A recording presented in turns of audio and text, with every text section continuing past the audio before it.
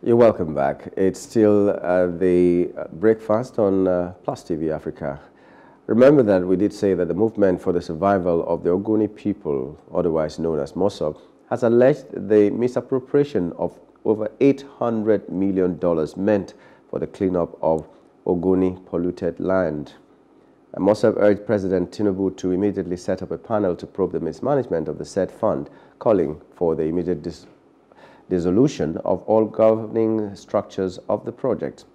Now, who was given the project? How uh, was it monitored? Uh, what is the state of this project? What can be done to make sure uh, that these people, uh, perpetrators of this act, if it is true, are brought to book? We have a guest uh, that will be talking to us on the issue, and he is Dr. Law Mefor is a political analyst. Good morning and welcome to the program. Thank you. Good morning, my brother. Thank you for hosting me. Okay, uh, $800 million is quite a lump sum. Now, the MOSOP is saying that it was misappropriated. Let's first of all get your comment on that. Well, I, I wouldn't be surprised if um, the allegation is true. Uh, because um, uh, the, the entire interventions we have had uh, in the uh, Niger Delta generally since 1999 uh, um, have not really yielded the desired results. If, if, you look at what um, has been happening in a place like NNPC, um, you will get to see that um, what they are also alleging uh, that has happened uh, in uh, the Ogoni cleanup exercise may not be far from the truth. And um, you see, the amount, the amount in, in question is quite humongous. And uh, if you recall, um, uh, President uh, Muhammad Buhari, as in 10 words, you know, um, he signed into this um, Ogoni cleanup exercise very early in his administration. One year into his administration, he was uh, committed to it, and uh, funds have been uh, released. But the information we get from that zone doesn't uh, suggest that um, not, not, that much is being done to really justify the amount of money uh, that has been released. So I think the call made uh, by the president of um, Mr. Nsuke, I think I think the call is is important. Uh, I may uh, I may not agree totally with um, uh, the call uh, for the dissolution of uh, uh, all the structures of um, that hydrocarbon remediation project. because when you say dissolution, after the proof that you are calling for, you now go back to reconstitute. You don't. What you need to do is to suspend a further spending and uh, what, what, that means is that uh, the structure uh, has already constituted, it should be there while um, the funds are approved. It's important to know where the money has gone to. And uh, if any work has been done at all, is it really commensurate to the amount of money released to that effect? I believe this is important. And um, if you look at it, it, you see, it, goes uh, even beyond the the uh, Hydrocarbon um, Remediation Agency, uh, otherwise uh, better known as uh, the Ogoni Cleanup um, uh, Project. I, I, th I think it's it's um, something that should worry everybody, um, because if you read down the press statement issued by Mr. Nsuke, the president of MOSOP, you will see that he also talked about um, additional 180 billion naira that was a release uh, just uh, uh, three weeks to the end or expiration of the presidency of uh, Muhammad Buhari. You recall that um, in the last uh, weeks of uh, the Muhammad Buhari presidency, there was a kind of frenzy to award the contracts as if there will be no tomorrow. So much frenzy all over the place. It became a kind of a contracted bazaar.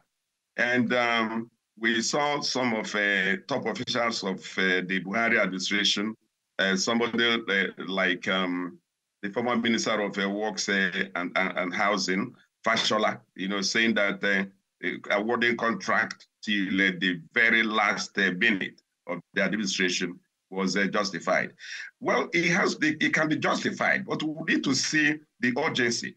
Such an award coming uh, in the twilight of uh, the administration should uh, border on emergency. But they, I, I, I, didn't see any emergency in such awards.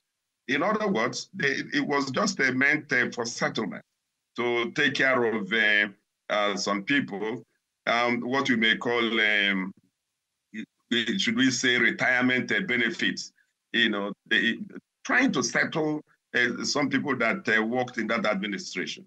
That is how I see this. So if you if you take it from that perspective, you will see that what uh, Mr. Nsuke, you know, said has a lot of merit embedded in it. And um, if uh, you also um, recall uh, the origin and justification, possibly, of um, what you call the Niger Delta militancy, right from uh, the uh, years of uh, Obasanjo uh, to the present day.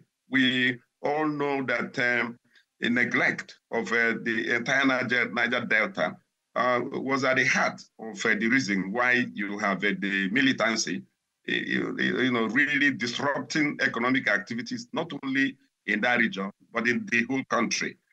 Now, if you if you uh, look at uh, the uh, fact that there has been uh, serious uh, neglect, the question is, uh, are we saying that Nigeria as a country has not done anything at all to take care of the Niger Delta as the golden, as the as the goose that lays the golden egg? I don't think it would be right to say that the Nigerian nation has not done um, anything substantial to really address uh, the problem of uh, the region. If you look at uh, the uh, various uh, um, bodies put in place to deal with the peculiarities of the Niger Delta and of course environmental degradation occasioned or occasioning from um, crude oil exploration in the region right from OMPADEC. In fact, there was even a body before OMPADEC, one board, I can't remember the full name now. From OMPADEC, you now have an NDDC and all that. Go and check their records of delivery. You will see, you know, you will see trillions popped into the region without uh, much to show for it. Because we expect that such a trillions should be addressing the um, question of uh, what life in the Niger Delta after oil. Yeah, Mr. Mefor, just, just yes. a moment. Uh, I agree with you that the, the, the, country has done a lot for the region, the Niger Delta region. We've seen humongous amounts of money being spent on the Niger Delta region. So if money is not the problem, where is our problem lying? Where are we getting it wrong? How, we cannot continue spending so much money and not getting results. Why do you think these results are not coming? Yeah, you see, um, first and foremost, you have what you call a elite conspiracy. Uh, Nigerian uh, political elites could be the worst that could be found anywhere in the world. They are so corrupt. They are not interested in a common good. That's just the gospel truth. Because if you go to Niger Delta, the, uh, uh, the, the, the, leadership is often uh, uh spearheaded by you know, people from uh, the region. You know, the MD, chairman of the board and all that. You know, even the Ministry of, um, of Niger Delta has also been led by Niger Delta people. So you expect that they should be able to see this as their own, their own project, their own problem, you know, really stand in the gap on behalf of their people. But this is not what you see. So you can see that embedded corruption in our system is, you know, the foundation of uh, the problem we're having in uh, not only in uh, the Niger Delta region, but the entire country. You know, corruption, lack of accountability, impunity, people hijack common resources. People hijack it because they know that nothing will happen. There is a document, I don't know if you have seen. The document was recently released by um, uh, Femi Falana, senior advocate of Nigeria, he pointed, he, he, he explained, he was able to excavate minimum of 23 areas where money has either been stolen, you know, mismanaged, you know, things like that. He, the, the document is out there. If you haven't seen it, I'll forward it to you after this program. And you know, he he he, he pointed out you know these areas and NDDC uh, and uh, or Niger Delta uh, misappropriation is one of them. So it should not be even treated in isolation. They call for probe of um, uh, uh, the uh, what has happened to open Ogoni cleanup is not even enough. It should be extended to the entire uh, 23 areas identified by the senior advocate of Nigeria. Take, for instance, what has happened to uh, NNPC. They were involved in what you call um, crude um, swap. They were giving a refiners crude and in turn return a, a taking a fuel from, a, from them in exchange for the crude they have given. Yet Nigeria is committing over 10 trillion to fuel subsidy. So where what, what happened? If you give your product in trade by barter, is money still involved? So you discover that it's not just the Niger Delta, what has happened in Niger Delta or Ogoni cleanup. Yes, they can start, the president can start from there, but uh, he has to extend it to the entire 23 areas identified by uh, the senior advocate of Nigeria, Femi Falana. And it's very simple. Just in, invite international uh, forensic auditors and they will give you the, the they will give you a, a, clear picture of what has happened. Very simple. But again, remember that NDDC um, it, was subjected to the same uh, international forensic audit about two years ago. Where is the report? You know, so there are no consequences for actions, you know, in Nigeria. Where is the report? You know, the former president sat on it. He did not implement it until he left. So you have a problem in Nigeria. The problem is corruption. And corruption is a, a, a byproduct of impunity, lack of accountability. You know, what I mean by lack of accountability is that, you know, people get away with almost everything. The, the, the laws are there, but nobody's implementing those laws. Nobody is enforcing those laws. Nigeria has some of the best policies, some of the best laws you can find anywhere in the world. So it's not absence of, of regulation. It's not absence of laws, it's absence of regulation, absence of enforcement. And who would lead the enforcement? The president of the country. I gave an example of the forensic uh, audit of NDDC. Ordinarily, the Ogoni cleanup should be part of the responsibility of NDDC. But they didn't do it. Then Buhari had to bring in uh, a special uh, proposed vehicle which uh, they called the, hydro, hydrocarbon uh, remediation project. Yes, he, he brought that in, very, very noble patriotic intervention, but you released money and nobody is made to account for the money that, that, that has been released for such project. You know, so if uh, the NDDC forensic audit uh, that is more than two years old now uh, has not been uh, um, implemented, what is the guarantee that um, the probe of uh, the, the hydrocarbon remediation project will uh, see the light of the day? You know, but because we have a new president, you know, and the new who is confronted um, by new circumstances, maybe things will be different. Look at the way um, the president abruptly removed the, the subsidy. Why did he do that? He did that because he, he, he met an empty well. The, the coffers were completely empty, nothing. So there was no way he could even contemplate uh, um, uh, proceeding for a month or two in uh, uh, uh in uh, um, implementing further the, the fuel subsidy removal. You know, so you can see that is between the rock and the hard place. You know, it, it, it's a very it's a very terrible situation. And, the, and President uh, uh, Tinubu needs to understand that the solution to the nation's problem is not transferring the burden, this burden to Nigerian masses who are not only suffering but dying in droves. It is really taking the battle to the elites that stole trillions from Nigeria. Use their calculator and they convert 800 million uh, to naira in a current exchange rate. The figure it will give you will surprise you if your calculator is able to carry it. But you know, nobody is saying anything about it. The 180 billion released three weeks to the expiration of uh, uh, President Muhammad Buhari's uh, presidency.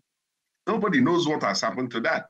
For some people, it is their own uh, settlement, you know, is is their own uh, uh, severance allowance. That is how it is said in public service, severance. So you have to find a way uh, uh, to bring out the money and hand it over to a group of people. Dr. Mefor, just a moment. I should, be, I, should, I should be dealt with. Yes. Yeah. Uh, you, uh, you, you've mentioned some of the solutions the way you think. Um, from this uh, story of the hydrocarbon pollution remediation project, which they're calling HYPREP, uh, we hear that uh, 200 million uh, could not be accounted for. But you gave a solution that one of the things that the president or the government needs to do is maybe bring in forensic uh, auditors from somewhere else to come and do that. But do you think the present administration will have the will to do something like that? Will they implement it? Do they trust foreign uh, bodies that come to do forensic audit of anything? Because just a few hours ago, let me call it few hours ago, we heard the EU report about the INEC. And instead of the government, as a lot of people expected them to do, uh, to say, okay, we see that some of the areas uh, our electoral body may not have done well. We'll see how we can improve on it. But they condemned that report outrightly, that the EU was just doing a lazy man's uh, desk job and they didn't have any information and the election was the freest and the fairest and the best election ever in the country. Do you think an administration like that will believe what forensic auditors will say, no matter where they come from, because they don't seem to trust anything that is not remotely uh, beneficial to the present administration? Yeah, it is a pathetic and um, very, very pathetic, the picture you have painted. Uh, you see, I recall in 2007 when uh, Umaru Musa Yar'Adua was elected president, mm. he repudiated the election that brought it to power. He, he said that the election was uh, seriously flawed and set up the Uwais committee uh, to do uh, some work uh, to ensure a proper election in Nigeria. You know, that's a gentleman. But he, compared to what uh, Tinubu and his team are doing at the moment, it, um, becomes um, something uh, of uh, the opposite. Because um, I read the EU uh, report and I, I, didn't see anything new. What the EU report is saying is what we have all, all known. There is no nothing new. And it is not only the position of the EU, that has been the position of all the international observers. Maybe the EU went a, a, little further to identify some specifics and then offer remedies. Look, Nigerians need to understand that EU has every right to be interested in this election. Why? They committed 49 million you know, dollars, either dollars, pounds, or euro to this project. You know, that runs into billions when converted to Naira.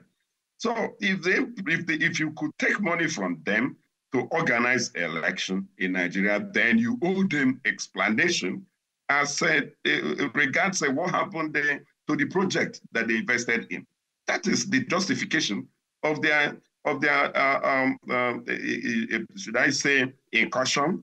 I wouldn't even say it is incursion because they, they they committed to the project 2023 general elections in Nigeria and therefore deserve to know what really happened. And they sent in observers, up to 50 of them, and they, they saw things firsthand for themselves. You know, so uh, uh, yes, I, uh, INEC started off very well. You know, the, uh, the BVAS did a great job of identification, verification, and all that.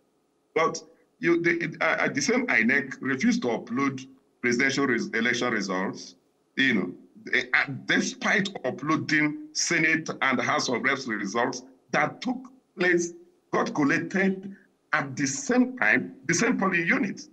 Mm. So if you say that Senate work, House of Reps work, work, and the and the um, pres okay. presidential election uh, couldn't um, be uploaded, yeah. something becomes fishy, right. even if it is true, All because right. it is the same portal. It is the same portal. It is the same election. It is the same the same collation All right, Dr. moment and time. It's just that you have three you have three result sheets, and the three result sheets out of the three you uploaded two. I refuse to. The other one. one did not work. Okay, well. Let's go back. Let me summarize. Let me summarize something. Just briefly, here. yes. You know, mm. my summary is this: You see, um, doesn't have much choice. That's a fact. He doesn't have much choice because the, the, Nigeria is broke. Let's put it that way. And all he is doing now is to tax Nigerians. You remove fuel subsidy, you remove a subsidy on electricity. You want us to pay 7.5 uh, uh, uh percent on VAT. Everything you know we consume will now be 7.5. You know, it's not stopping there the, the, the, administration is imposing more and more tax. Even the, the proof of ownership that you do once and for all, you now have to do it annually. Yeah. And they are projecting that they will make over 20 billion out of that. You know, you can see that the government, rather than approach, rather than face the source that have taken trillions out of the treasury, they are trying to transfer the burden to the Nigerian masses. But okay. again, if you want to do forensic audit, it, it, nobody in Nigeria will give you will give you proper forensic audit because corruption has eaten into everything.